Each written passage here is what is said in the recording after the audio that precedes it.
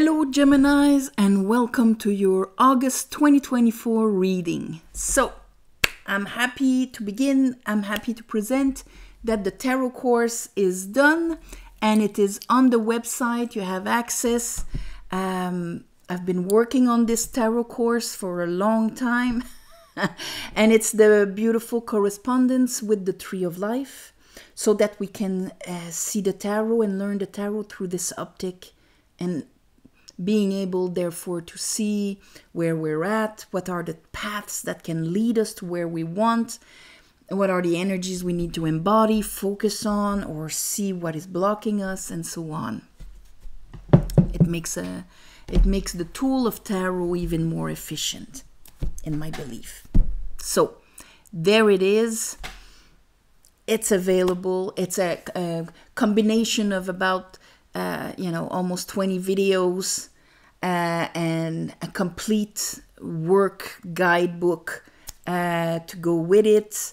Um, so there you go. All right, it's going to be on the shop section of the website. So on this, my beautiful Geminis, um, I meditated on your energy and what Spirit wanted to talk to you about. So you come in the month and here we have, well, the one on top is the Two of Pentacle. And of course, this is when we're juggling between either our inner self, outer self, feminine, masculine, uh, I smile, but I feel like crap, or whatever it is, but it makes our emotions are up and down, and so on. Here it's about what we're manifesting, what we desire, the focus of our ambition. Uh, she's the love attraction, Queen of Wands. We're in Leo season, so I'm not surprised you come in with the fire element right away, but the feminine fire element. So that's why she's the love attraction. It's not you putting your will out there, it's how you attract which will, which fire are you attracting and then we have Seven of Pentacle, Eight of Pentacle in reverse. And so it's kind of the stumbling in the pentacle world in a sense of, okay, what I've been attracting because I'm still juggling between two states of being, two ways of perceiving, experiencing life, or my worth and my value there's a part of me when it comes to what I realize in this matrix, in this beautiful material world. I look at it, my energy is a shovel. I go to work. I don't get fruits or value from what I do. Did I make the right choices? I'm kind of halfway through and you know questioning myself. And the Eight of Pentacle, which should be like this, is in reverse because here we have a 7 and an 8. Okay? It's really on the level of the solar plexus in the tree of life. You have the unconscious solar plexus and the conscious one.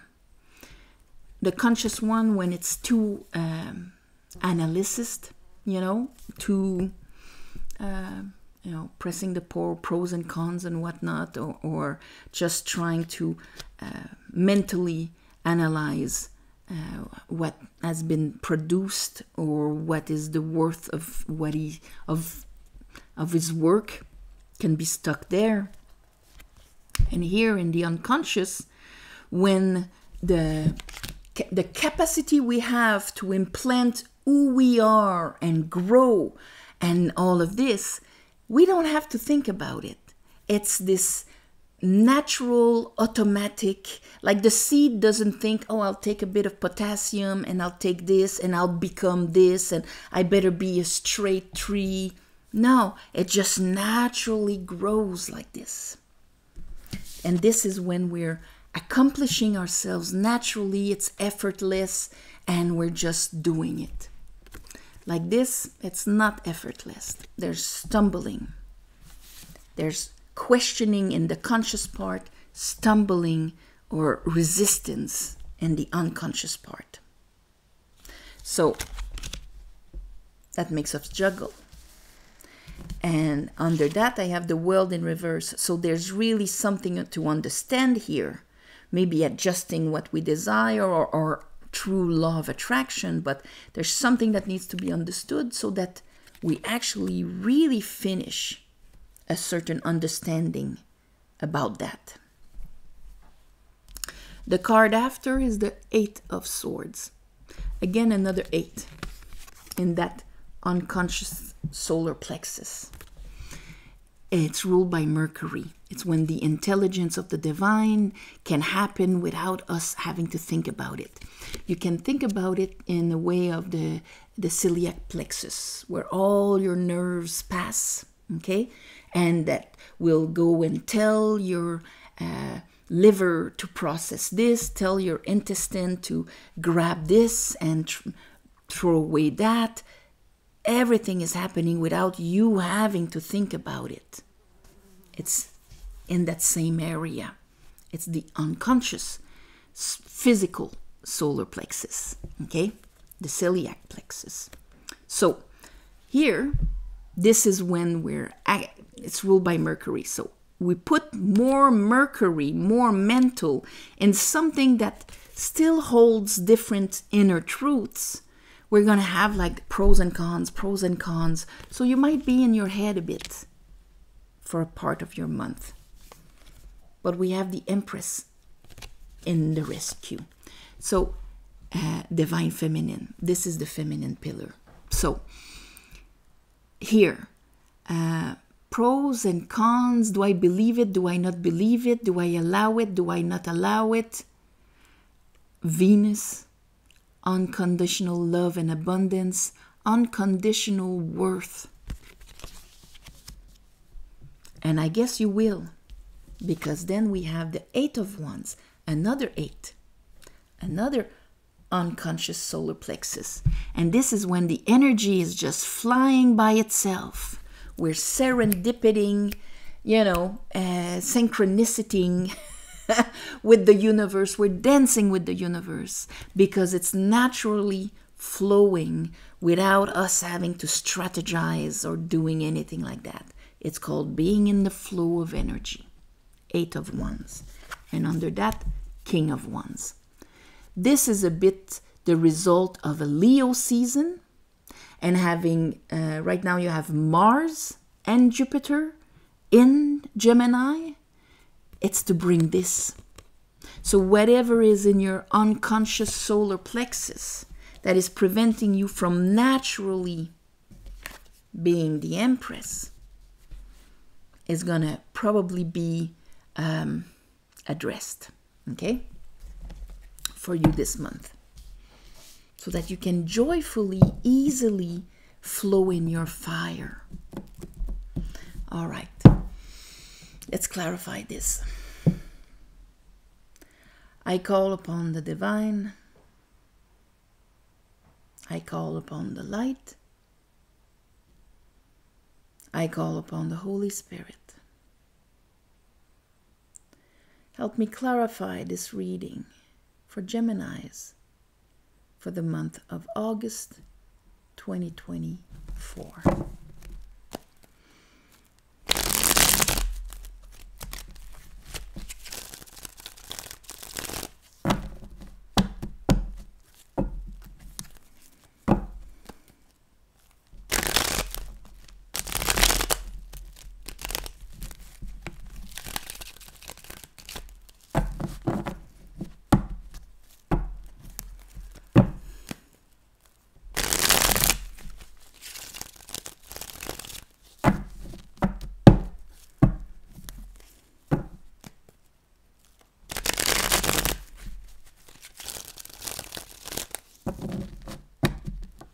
All right.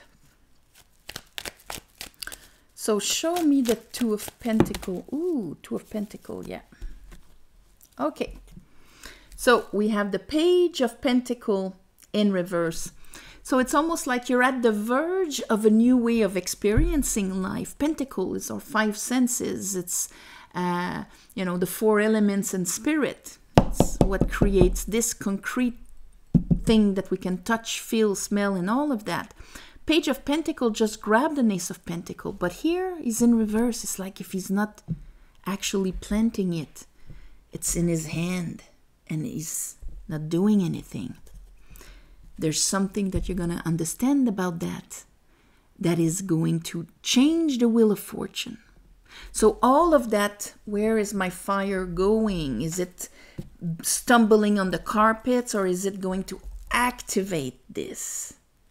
Making my energy say, hey, you know what? Yes, I'm going to back you up, Page, and we're going to feed and nourish that pentacle to what it can be.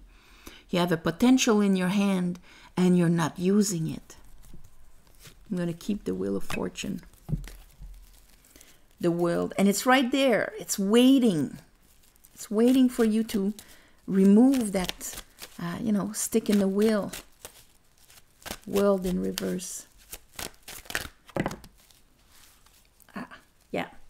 It's waiting for you to understand what was the damn lie that you kept that prevented you from being flowingly enhancing, growing, prospering. Prospering? I don't even know if it's a real word in English, but prosperity. You see what I mean? There's something you need to understand about that. And here, Two of Cups with it. That's interesting. Because the Two of Cups is also, it's all the mirrors in our lives. Let's say you have a business. Well, that's your clients. You're mirroring your clients with your water. It doesn't have to be just romantic. It's your family. It's the relationship or the mirroring of vibrations, water, between your inner feminine and the outer masculine in action that we can see out there. So it's everybody. And it's even you in the divine, you in this world. It's you and. So here, Ten of Swords, that's very good because that means that if we uh, what if we need to go this, that means we stop this. We stop the stagnation. If we get conscious of what makes us juggle, okay, that we're like this or like this, uh, it's essential. So, once you're conscious of it, you have action and you have power over it. Consciousness is light. That's why we say light on the shadow. Shadow is what we don't understand, what we feel that we have the consequences of, that, you know, we experience, but we don't understand it. You bring light on it, you bring consciousness on it. You understand it, you don't have to live it anymore. Let's see. Eight of Swords. Why is the Eight of Swords? Ah, okay. I was saying something's going to bring that Empress up. Well, I guess it's a tower. And the King of Sword. The tower is going to make you stop juggling. Uh, and the tower in well it's going to make you stop juggling it's going to I'm clarifying this. It's going to make you stop juggling, stop being in your head, because it's going to bring you a truth that's going to shake your ground. And where is the tower on the tree of life? It is right on the path, no, the other side, on the path between the conscious and the unconscious solar plexus. There it is. So you're really dealing with your solar plexus, with fire. We're in Leo season. All right. You're going to get out of your overactive Mercury, Eight of Swords. And you're going to allow the Empress. Empress. You're going to allow Venus. Maybe Jupiter is going to send you that, you know, lightning bolt uh, to give you that discernment so that you can perceive Venus. You, if you cannot perceive her, you cannot embody her. And here I have the star in reverse so that you can realign yourself with above. So that you can throw away what is preventing you in your unconscious waters from being completely aligned with who you truly are, Gemini. Let's look at the Eight of Wands. Queen of Wands. Ace of Wands, Knight of Wands. Look at all that fire. For this, and under that we have the King of Wands. So it's like you catch on fire. Once you get out of there, and the tower is that extra fire to realign you. So the moment you get it, the moment you perceive it and you understand it, because they send you that tower that has an understanding in it, bang, you catch on fire. King of Wands. That's enough to move the wheel of fortune. Oh, you Ace of Cup, uh, Knight of Cup, Queen of Pentacle. Now you go for that completely. Okay, they give me the Ace of Cup again. You get out of there, Wheel of Fortune, and you go and get that cup.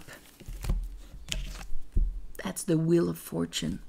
To really finish the old cycle so that you can begin a new one.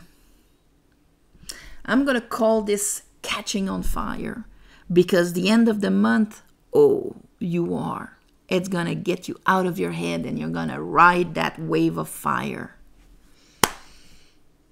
Oh, riding the fire. That's even better. And that's very Gemini. All right.